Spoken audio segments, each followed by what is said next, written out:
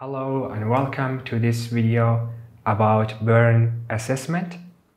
This is a very important topic because it will decide the treatment for your patient and here we will explain it. So burn is assessed by calculating the total body surface area affected by the partial thickness which is the second degree and the full thickness which is the third degree burns using one of these methods, which include the rule of nine, the rule of palms, and the Lund and Browder chart.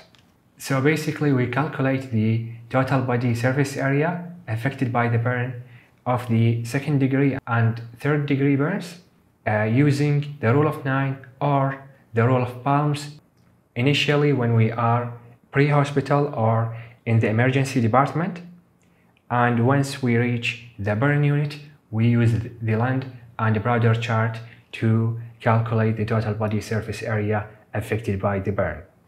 And we will explain each of these methods in the next slides. Now, superficial, which are the first degree burns, are not included in the calculation of the total body surface area. This is very important to know the superficial burns are not included, we only calculate the second degree and the third degree burns. And the cleaning of debris and soot is mandatory to avoid confusing debris with burns. So it is important to clean all the debris out of the patient skin to make sure to calculate the total body surface area affected by the burn precisely. Now, what is the point of calculating the total body surface area in assessment of burns? Well, it is helpful in understanding the severity of the burn and it is very helpful in determining the amount of fluid needed for resuscitation using the Parkland formula because the Parkland formula uh, includes the total body surface area affected by burns in the formula to find out about the amount of fluid needed for resuscitation and it is helpful in determining the nutritional support needed for the patient and the pain management and also to control infection. So let's start by explaining the rule of nine. So it is originally called the Wallace rule of nine relative to the British plastic surgeon Alexander Wallace who first developed this method and it is mainly used as an initial assessment tool in the pre-hospital and emergency department, as I mentioned earlier, to estimate the total body surface area affected by the burn. And when the patient reaches the burn units, the Lund-Browder chart is used to recalculate the, the total body surface area again because it is more precise. The Lund-Browder chart is always more precise than the rule of 9. It's a quick and easy method that is used for large surface area burns now let's learn about how we use the rule of 9 to calculate the total body surface area affected by the burns. So in the rule of 9, each body part is given a percentage that is 9% or it is multipliers. So it is either 9% or 18%. And that's why it is called the rule of 9. And we have two different versions for the rule of 9. We have one for the adults and we have one for the children less than 10 years old. And each body part has its own percentage of the total body surface area affected by burn. So for the left arm and the right arm both take 9% in adults and also in children. And as you can see in this uh, drawing, the uh, arms, all of them are 9%. Now if the patient had only the anterior part of their arm has been burned. Uh, now you, you give them half of the 9. So you give them 4% for their limb. If their both sides are burned, then you give them the full 9%. If they have a quarter of their limb that is burned, then you give them 2.2% and so on. Now the head and neck area is quite different between the adults and children. In adults it's 9% and in children it is 18% because the head is much bigger than uh, relative to the body in children more than the adults and that's why we give 18% to the uh, head and neck area in children.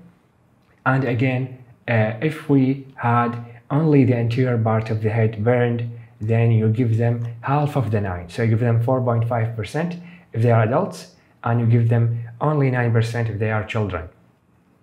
Now for the chest and abdomen area, you give 18% for the adults and also the same percentage for children. Uh, and the entire back also 18% for adults and 18% for children.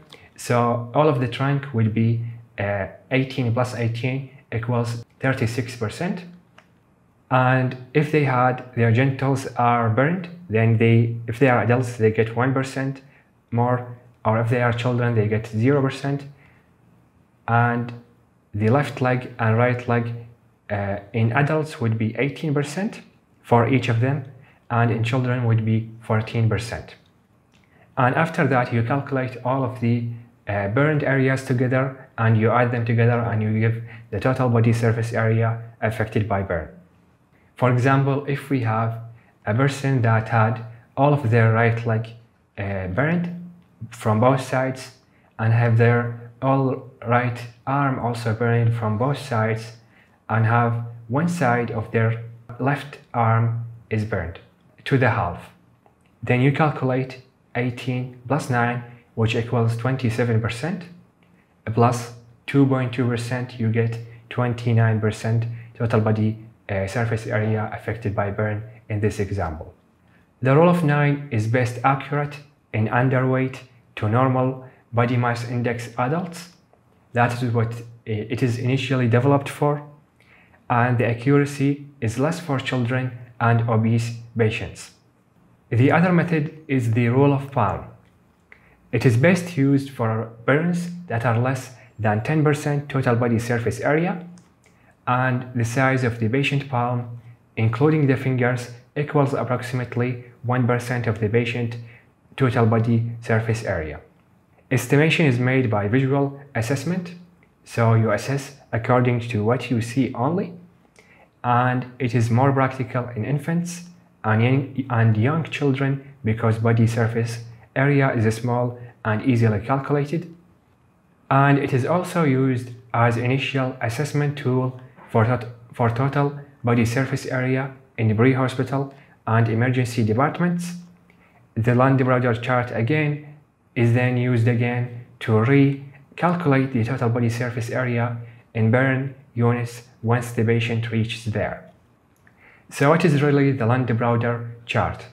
It is developed by the American surgeons Carlos Lund and Newton Browder in 1942. It takes into account the age of the patient, unlike the other methods. That is why it is very good for children because it takes into account the age. In children, decreasing percentage of total body surface area for the head and increasing the percentage of the total body surface area for the legs as the child ages. So when the child age is higher, they would have uh, less total body surface area for the head and they would have more body surface area for the legs in the Lund-Browder chart. And it is the best method and the most accurate that is used in burn units, but it takes a little more time. That is why it is not used initially because it takes more time to calculate. So this drawing here shows the rule of 9 first. This is the, the rule of 9 on the left, which we already talked about. And then on this side, we have the Lund and the Browder chart. So as you can see here, each body area assigned a number and some body areas have letters. So the head have a letter A, the trunk 13, the uh, arm is 2%, the forearm is 1.5%, that is just the, the anterior part is 1.5%, the posterior part is also 1.5%. Same goes for the arm. The anterior part is 2%, the posterior part is 2%. The trunk also, the chest and abdomen 13, and the back is 13, the buttocks is 2.5, and so on. The dorsal part of the foot is 1 and 3 quarters, and also for the posterior part is also 1 and 3 quarters. And also you have the letters as I mentioned, you have the A letter, you have the B on the thigh, and you have the C on the leg. Those are letters because they are changing and here you find their uh, values.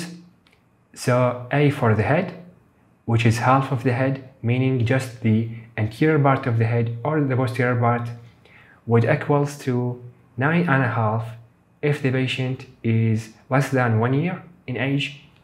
And if they are one year in age, they get eight and a half for their anterior part of the head only. And if they are five years, then they get six and a half for the anterior part of their head and so on. The posterior part is also the same values. It is the A values, so it's also nine and a half, eight and a half, and so on. The B is for the thigh, and also half of the thigh is, so the, only the anterior part or the posterior part would equal to two and three quarters if the child uh, is uh, less than one year, and if they are one year, they get three and a uh, quarter, and so on. And if they are older than 15, they get four and a half. And the C is for half of the lower leg, which is equals to two and a half if the child is less than one year, and so on. If they are older than 15, they get three and a quarter. And as you can see, with increasing the age, the head uh, surface area would decrease Uh, and between 9 and 4, so decreasing, while the legs are increasing. So it's 2 in at 0 and 3 and quarter at 15. And with that, we reach the end of this video. Thank you guys for watching. Please like and subscribe and see you in the next videos. Peace.